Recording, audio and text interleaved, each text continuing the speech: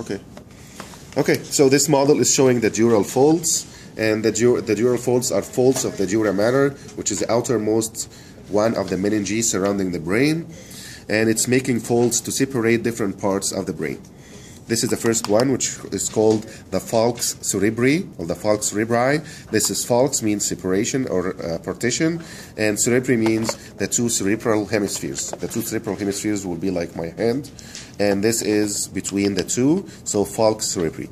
If you look at this one here, can go up. This one here is the tentorium cerebelli.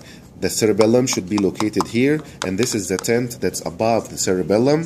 So we call it the tentorium, both sides, tentorium cerebelli. If you move with, with, with, the falx cerebri and go to the front, you can see this part here.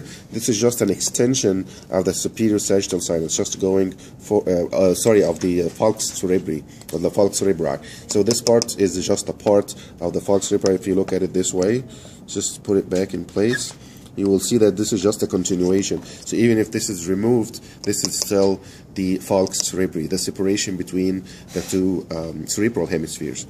Uh, within the, the, uh, the, the dural folds, there are some parts that are separated for the flow of the CSF. And as you see here, this is the blue uh, sinuses here. This one will be the superior sagittal sinus, and this one underneath will be the inferior sagittal sinus.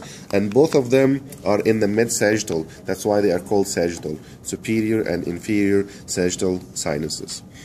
This one here, straight, straight sinus. Okay, and this one here is a transverse sinus. Okay. All right.